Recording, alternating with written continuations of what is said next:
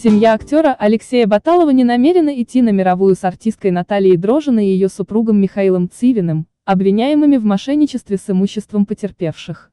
Об этом ТАСС сообщил адвокат семьи Баталовых Павел Астахов. Цивин и Дрожина и их представитель постоянно выступают с заявлениями о примирении. Но примирение в рамках уголовного дела по тяжким преступлениям, часть 4 статья 159 УК РФ «Мошенничество» невозможно. Расторжение договора ренты было необходимо совершить до предъявления обвинения, сказал защитник. По его словам, в адрес семьи Баталовых постоянно поступают оскорбления и угрозы, поэтому доверия к обвиняемым и их представителям быть не может. Уже через месяц дело может быть расследовано, подчеркнул адвокат.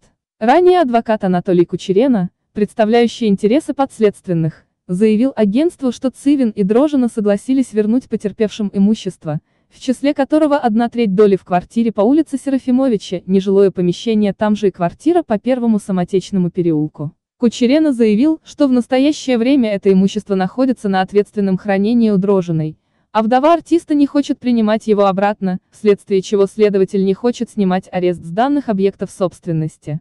Кроме того, адвокат добавил, что не понимает пока, как выйти из этого тупика.